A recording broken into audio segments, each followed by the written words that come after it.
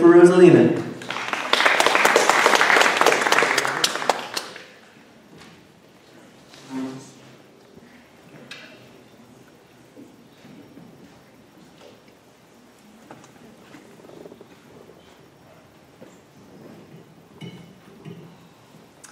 Hello, Frequent Salvage. It's always a great pleasure to come and try out new pieces, new songs, and uh, gain your feedback. Um, I felt blessed recently getting a birthday present, the idea for the chorus of this song, um, based on very well-known saying, there is no way to peace, peace is the way. Um, and then several days after, I was blessed yet again. I was in a company of remarkable cabaret prima donna and star, one of the kind, who just came with a concert here to San Francisco after her Carnegie Hall performance. Um, I hope each and all of you will get a chance to enjoy and to get to know this remarkable talent of Tamara Grazitelli. Um, my song was influenced by seeing uh, that concert and being in her presence, meeting her. Truth is the Way is the name of my song. And um, the feeling of the pain from betrayal is um, something that doesn't need translation. So, truth is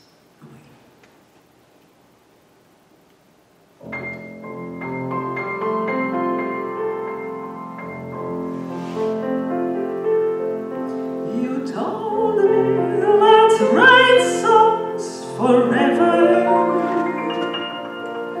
Let's find ourselves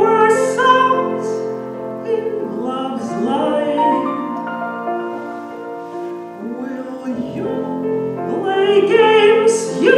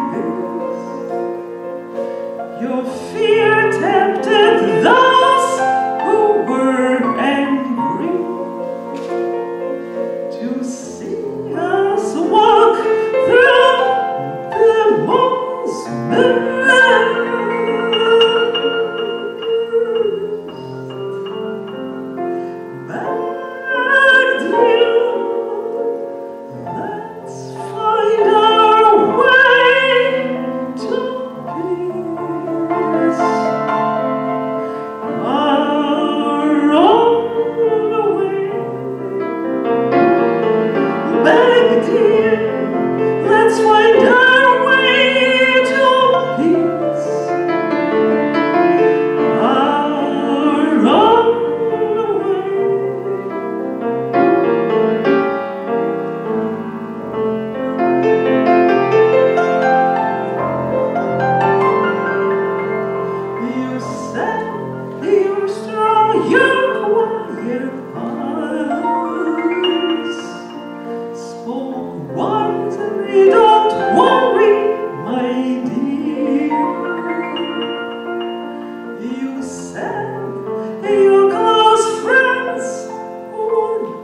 accept me.